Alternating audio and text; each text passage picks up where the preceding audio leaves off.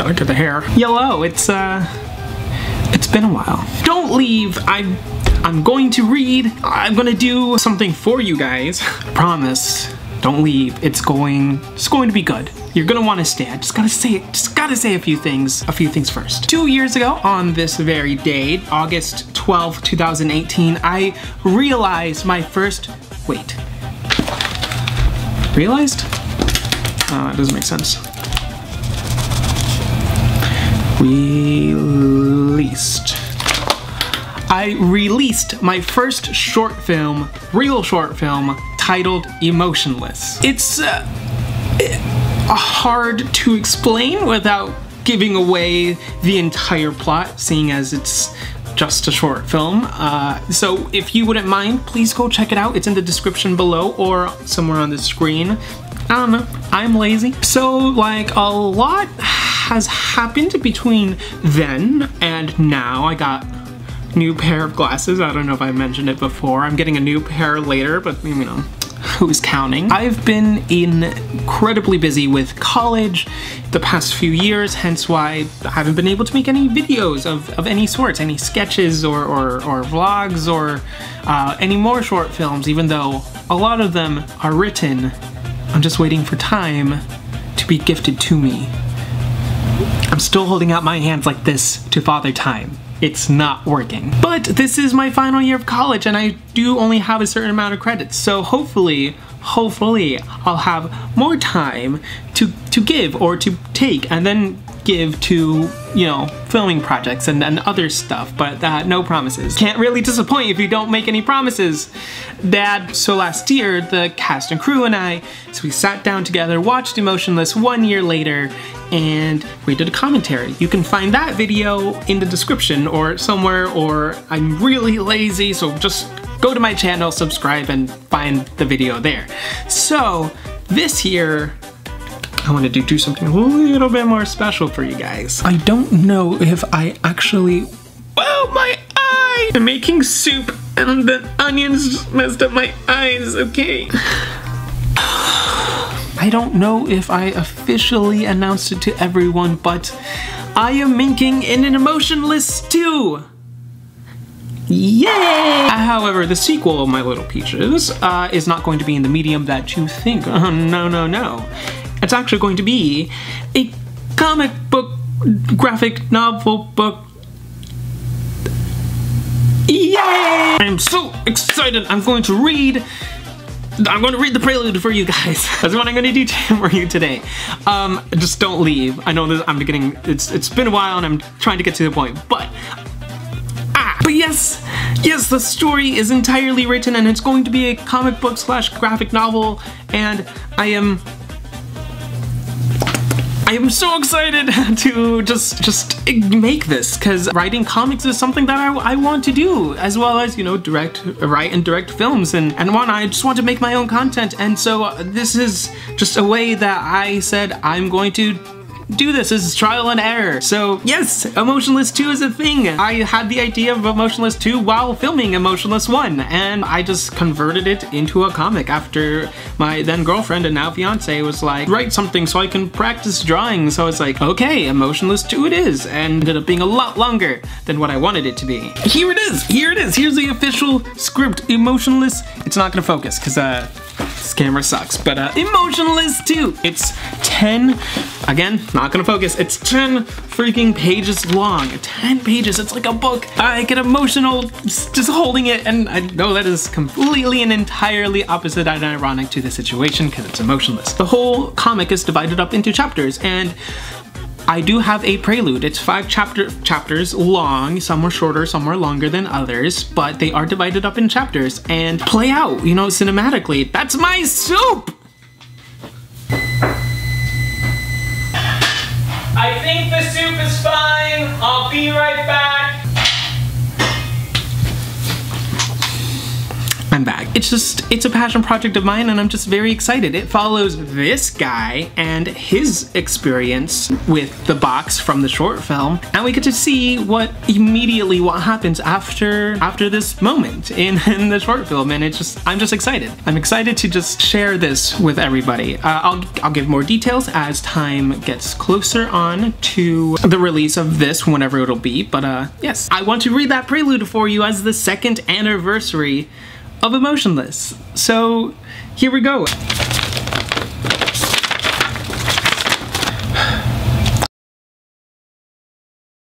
Images flash before him. There is a little boy with tan skin and straight dark brown hair playing with a blue ball and a small with a small blonde-haired girl. Then another image of Felicity at the park bench in her emotionless state. Aaron closes his eyes trying to ignore these memory flashes, but he can't seem to shake them.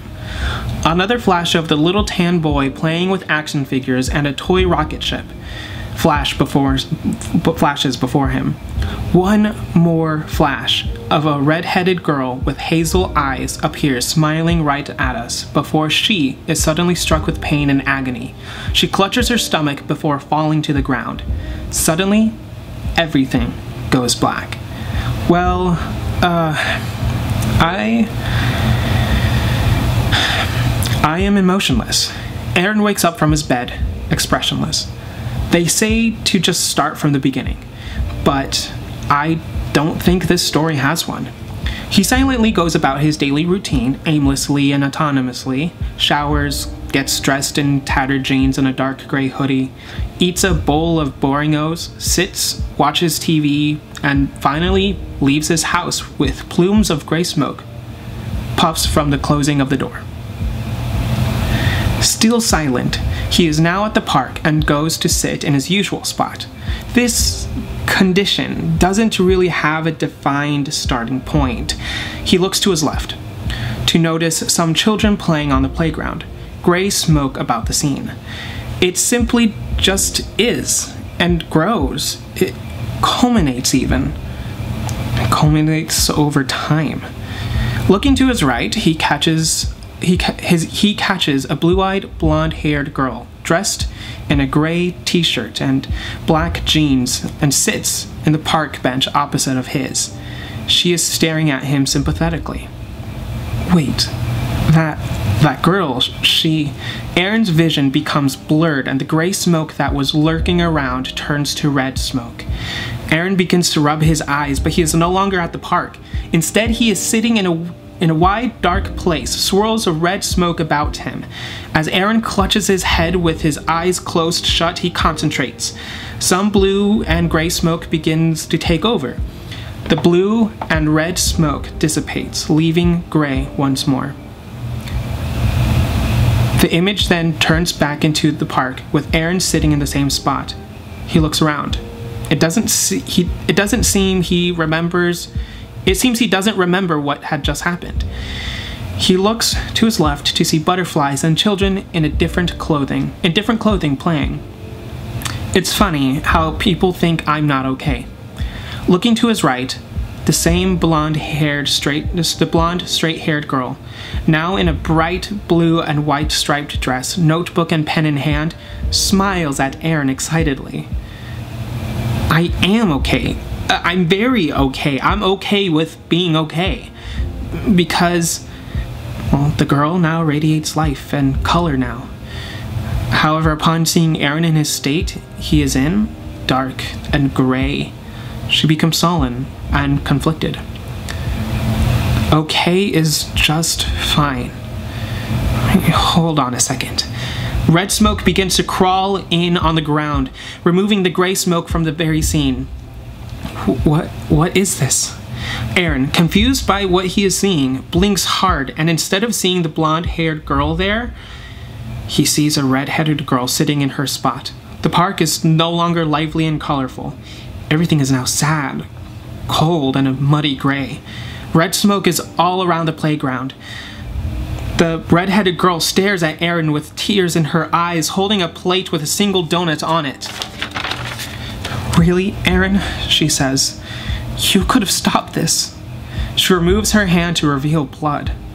No, no, stop! This isn't real! Horrified, Aaron gets up and begins to run away, out of the red smoke and into the into a plume of blue smoke.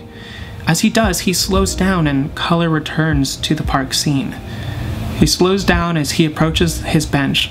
Looking down, he sees the box on his bench with a yellow sticky note. From someone who is just like you. Picking it up, he's confused. Familiar, he thinks. He opens the box, which is emanating, which is emitting puffs of blue smoke, and he laughs happily. I. He looks up and sees the same blonde haired girl from before, now in a pink dress next to a silver car. You. They both smile at each other from afar. I remember you. Blue smoke surrounds the two of them. Aaron and the blonde haired girl, about 10 feet apart, share this moment. Suddenly, the scene changes yet again. Evening casts its blue light over the cemetery.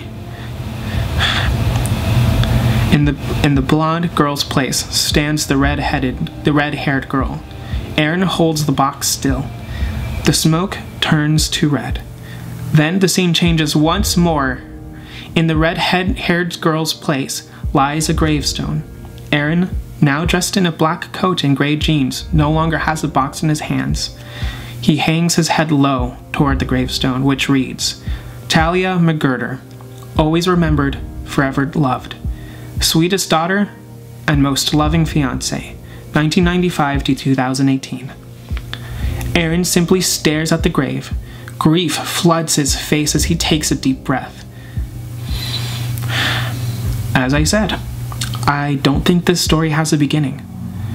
Aaron bends down and places a single lavender colored tulip at the foot of the tombstone and leaves. Aaron, a voice calls.